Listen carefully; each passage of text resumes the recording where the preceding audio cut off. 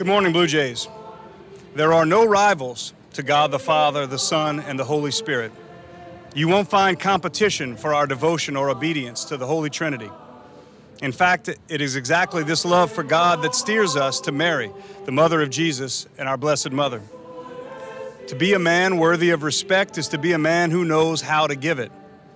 We honor our elders and our rulers and our families.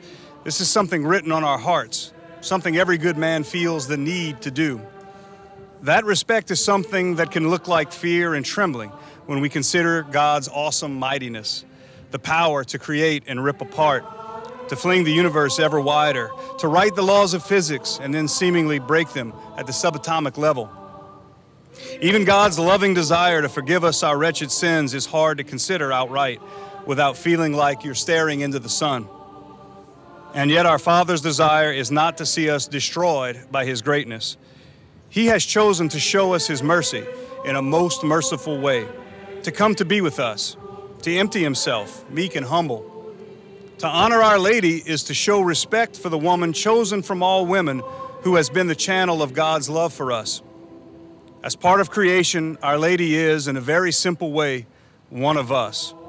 But her soul magnifies the Lord. It highlights God's mysterious ways. We cannot claim to go to God by a more direct means than what God Himself chose. God chose to favor Mary as blessed. So should we. God chose Mary as the instrument of unity between God and mankind. So should we. God called Mary mother, and so should we.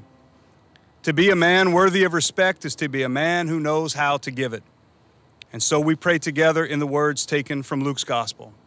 In the name of the Father, and of the Son, and of the Holy Spirit. Amen. Hail Mary, full of grace, the Lord is with thee. Blessed art thou amongst women, and blessed is the fruit of thy womb, Jesus. Holy Mary, Mother of God, pray for us sinners, now and at the hour of our death. Amen. In the name of the Father, and of the Son, and of the Holy Spirit. Amen.